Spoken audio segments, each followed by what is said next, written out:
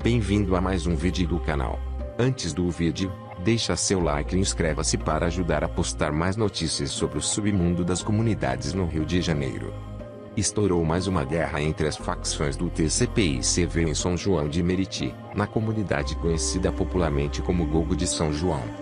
Segundo informações dos moradores, a guerra estourou ontem. O CV perdeu o controle da comunidade pela madrugada de segunda-feira para o TCP.